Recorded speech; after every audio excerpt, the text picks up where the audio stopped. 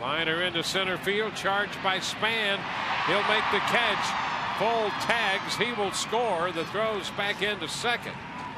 So the Rays pick up run number three of the inning and their seventh run of the night. Zobrist